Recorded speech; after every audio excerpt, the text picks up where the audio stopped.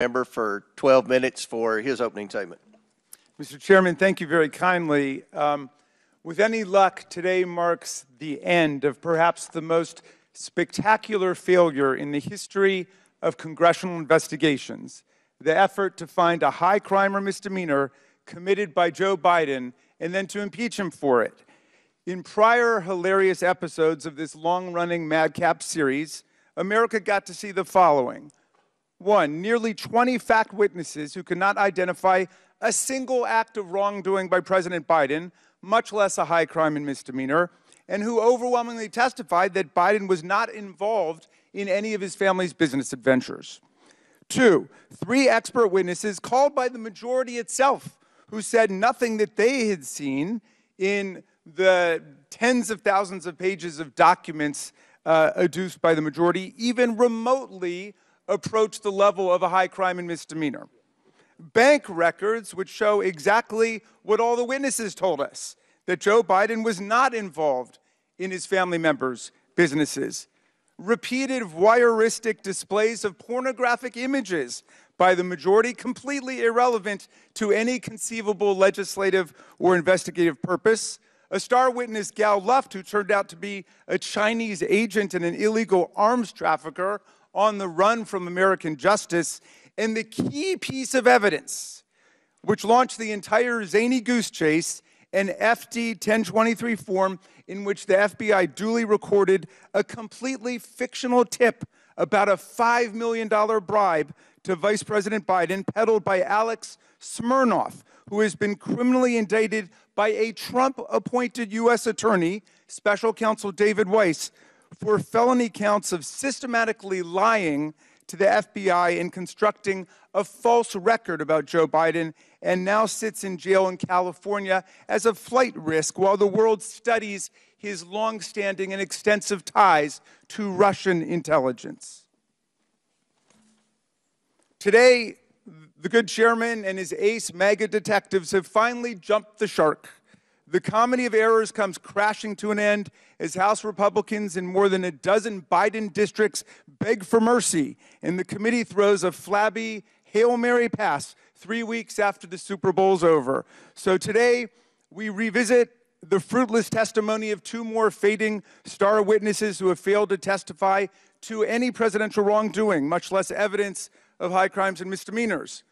Both of the majority witnesses are frustrated would be business partners of Hunter Biden who tried to leverage the Biden name or the Biden brand, as they keep calling it. But they never got any business off the ground for reasons that will become painfully obvious to anyone watching the proceedings today.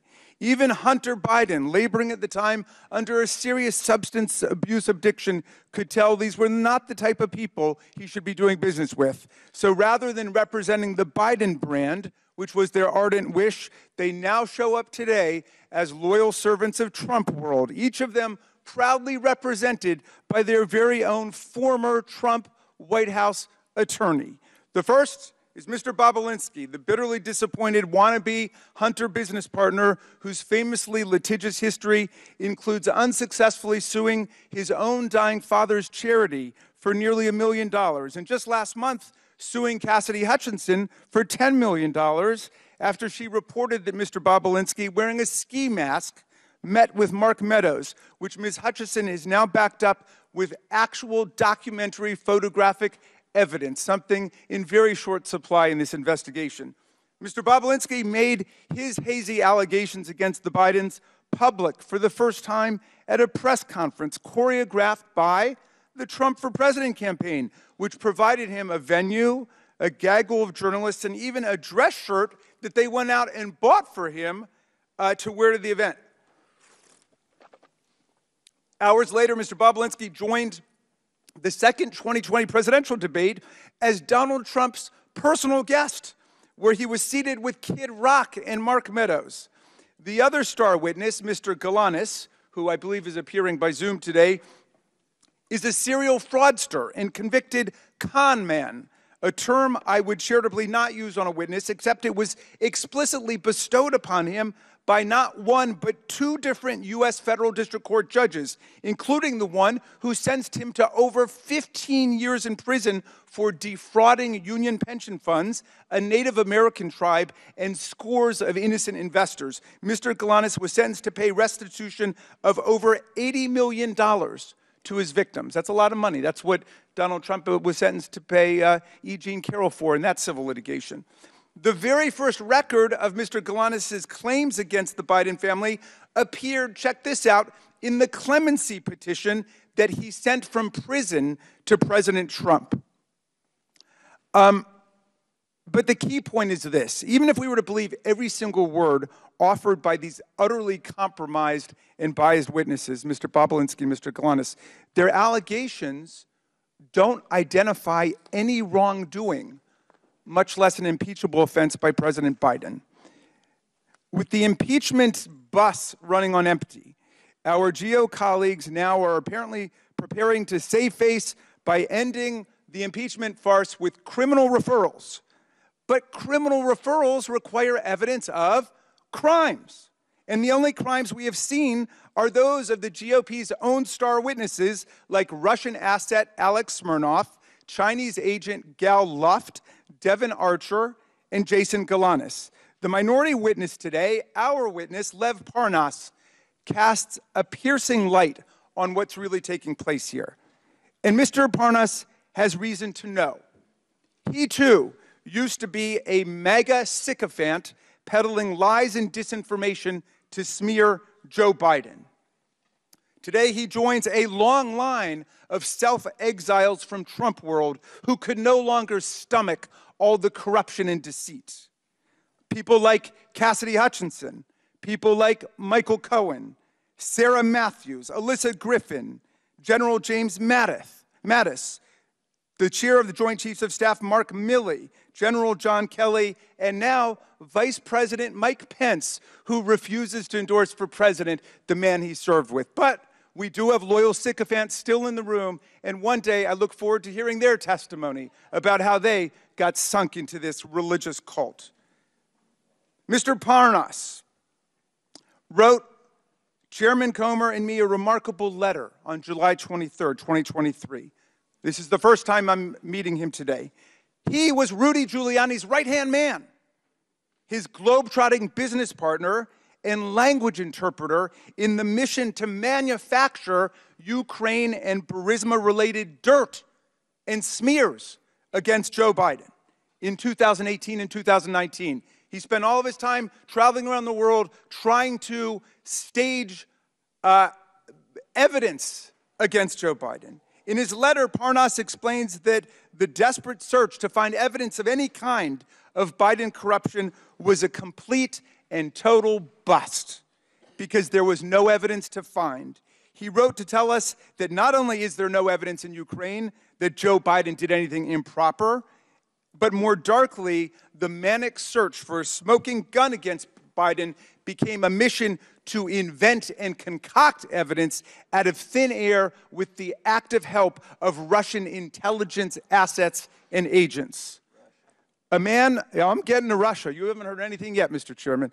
Uh, a man who has reckoned with his own moral descent into Trump world.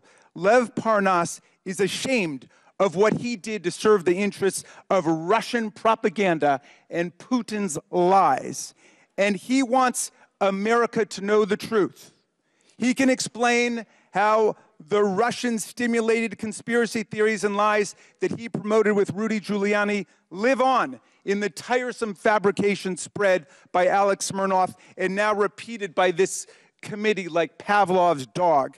At every turn, my colleagues cry Russia hoax, even in the face of repeated warnings from Donald Trump's own Treasury Secretary and Secretary of State, from the intelligence community, from Robert Mueller, and most recently from Special Counsel Weiss, who was named to office by Donald Trump. As Secretary Mnuchin stated, quote, Russian disinformation campaigns targeting American citizens are a threat to our democracy. That's Secretary Mnuchin, someone that you guys usually defend, but my GOP colleagues continue to cry Russia hoax like cult members selling flowers at the airport.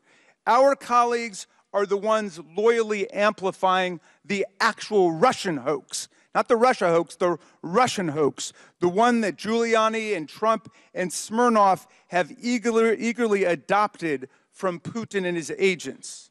They participate in this hoax while they shamefully block $60 billion in military assistance to President Zelensky and the besieged Ukrainian people five years after Trump and Giuliani tried to shake President Zelensky down for counterfeit dirt on Joe Biden. And while they continue to parrot these transparent Russian lies, Vladimir Putin wages his bloody aggressive war on Ukraine filled with atrocities like the mass kidnapping of children and the rape and slaughter of civilians. The MAGA right's wholesale adoption of this Russian hoax and their sellout of the Ukrainian people by the MAGA right is an historic betrayal of democracy, freedom, and the rule of law. But the defense of democracy begins with fidelity to the truth and the oversight Democrats, America's truth squad against this disinformation, is here today to set the record straight.